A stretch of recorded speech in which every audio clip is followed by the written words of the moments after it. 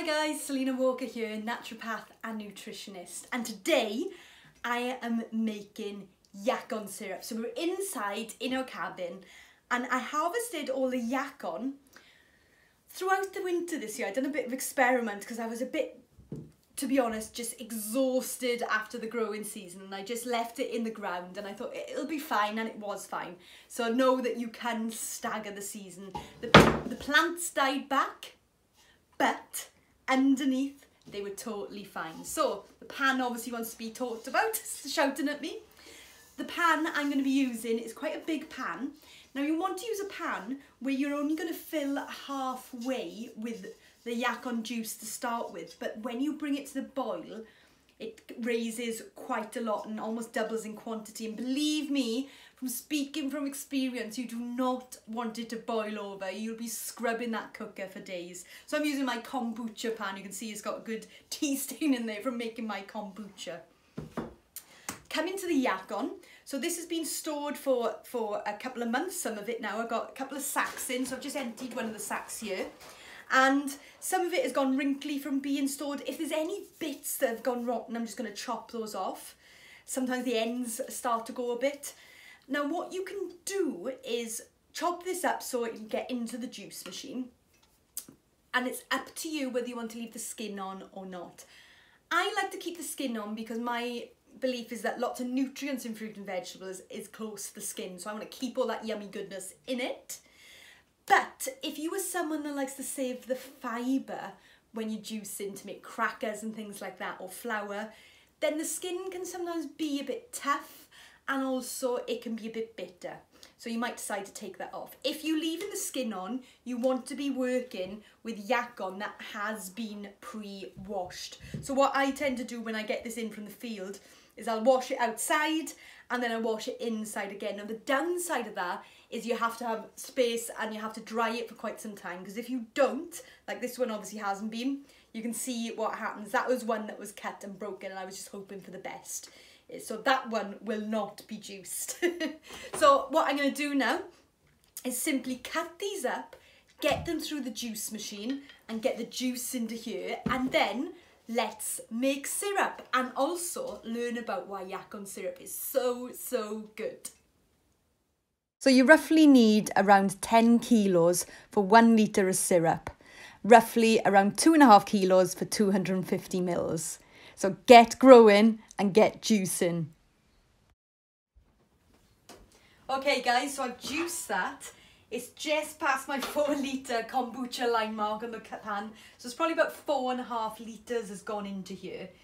And I think I put about 10 kilos in each sack, so we'll have to work that out later. So that's what the juice looks like. You can see it's almost black, isn't it? That black colour. Now, when you first juice yacon, it's more of a kind of medium brown, maybe a beigey colour when it comes out, but as soon as it hits oxygen, it goes black. So don't be alarmed by that, it will oxidise very quickly. So I'm just going to put that last drop in, pop that over there. And now what I'm going to do is I'm going to pop this on the large flame, let it come to a rolling boil, and then leave it on a medium heat so it's continually rolling. And I'll show you what that looks like for a good few hours until it reduces down and it's yummy and delicious and thick. So this has just come up to a rolling boil. You can see it rolling, but also the steam is on the camera. And you can see the froth, there's a bit of a scummy froth start to form. I'll scoop off the scummy froth and then just leave it boiling away until it starts to reduce. And what that means is until the liquid starts to become a smaller quantity and becomes thicker. Okay, so this has been at it now for four hours and you can see, hopefully, the texture has really changed. It's starting to really thicken up now. So it's not going to be much longer. My experience is it's usually between four and five hours. Okay, so this is pretty much done now. If you can see at the side, the mark, so that's kind of where it started. I purposely left the scummy mark there so I can show you. And that is where it's ended up. So it's considerably less. You know when it's done, so you kind of get this circle of bubbles and then when I stir it, you can see it's a lot thicker. And another way I, I know that it's done is if I draw a line, it doesn't instantly pull in, the line stays there. Now I could make this thicker and allow it to go thicker, but what I find is if I allow it to go too thick, when I put it into my bottles, it doesn't come out. So I'm gonna bottle this into a sterilised bottle and I'll show you how that goes. Okay, so I've got my sterilised bottle and a funnel and I'm simply going to pour in. Let's see how much is there. Let me get the pan.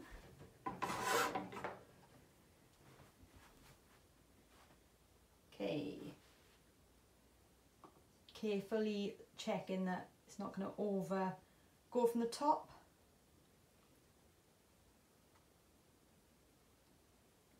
Right, there's some delicious syrup in there. So I'm just going to get a silicone spatula, which is great to scrape the goodies. And I'm going to, let's see, yeah, that really scrapes it from the bottom. So you'll be able to see how much extra we get in. That was worth it, wasn't it? and also you can lick the pan afterwards. So that's batch number one done. I'm going to save that to test it in a bit.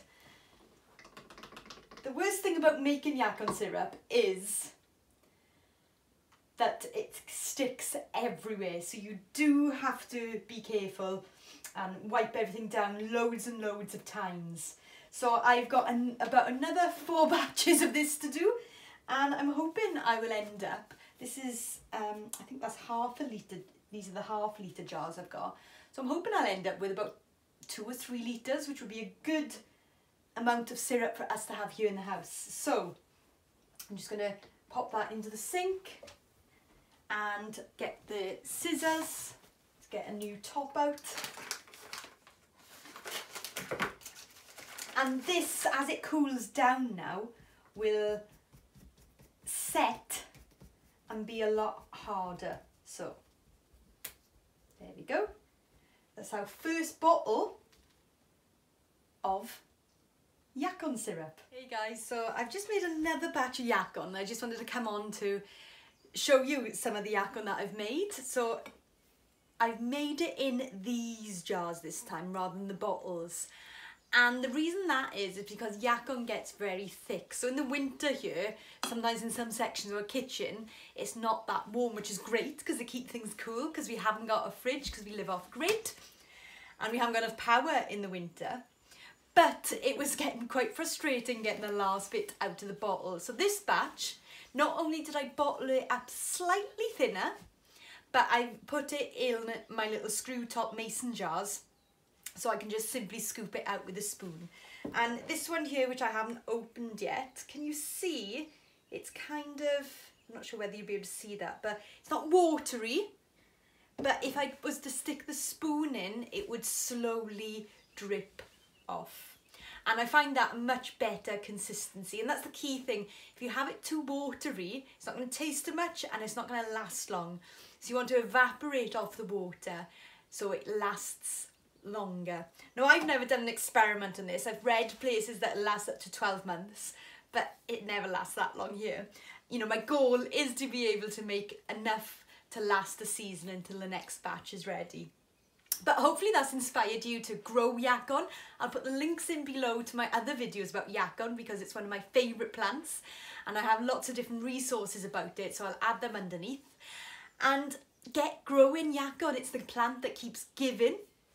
The syrup is full of prebiotics to feed the good gut bacteria. It's suitable for diabetics because it goes through the, through the digestive system without spiking the blood sugar.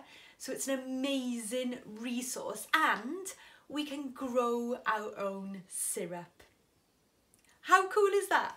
So if you've enjoyed this video, please subscribe to my YouTube channel. It really, really helps me. I know you must hear everybody say that, but it does. It super helps promote the channel and get this information out there. So I really appreciate you doing that. You can also head on over to my website, salenawalker.earth and sign up to my free newsletter for hints and tips on how you can create a healthy body, a healthy mind and a healthy planet.